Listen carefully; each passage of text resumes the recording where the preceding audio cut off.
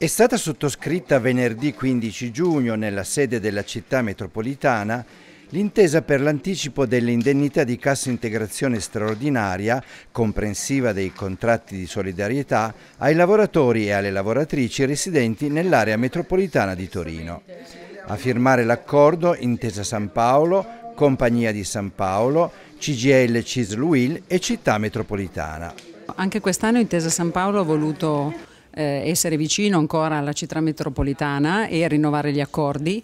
Inoltre quest'anno abbiamo anche accolto la richiesta dei sindacati per eh, anticipare quanto spetta ai lavoratori in base al fondo di integrazione salariale.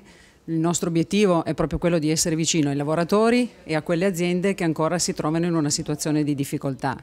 Lo scopo della Banca dei Territori è di dimostrare sempre sinergia con il territorio. Sì, è un'iniziativa diciamo, di non enormi dimensioni se guardiamo a quanto dedichiamo dal punto di vista delle risorse complessive ai temi dell'accompagnamento, della promozione del lavoro e al tempo stesso alla direi all'aiuto a chi in questo momento si trova senza lavoro e fuori dai circuiti del lavoro.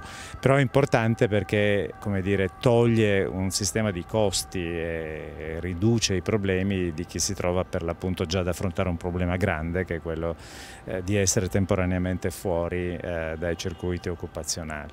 Naturalmente è un pezzo di una strategia più ad ampio respiro che ha come obiettivo naturalmente quello di cercare di recuperare le condizioni per l'occupabilità e quindi generare in ultima istanza lavoro.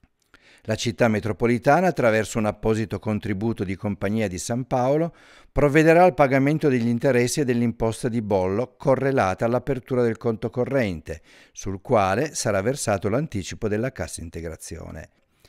L'accordo garantisce ai lavoratori e alle lavoratrici una copertura economica nel corso dei mesi che l'INPS potrebbe impiegare a corrispondere le indennità di cassa integrazioni, nei casi in cui l'impresa non sia in grado di provvedere direttamente. CGL e Cisluil di Torino continueranno a fare da tramite tra i lavoratori e le lavoratrici che intendono richiedere l'anticipo e Intesa San Paolo, per rendere agevole e tempestiva l'erogazione degli importi previsti dall'accordo.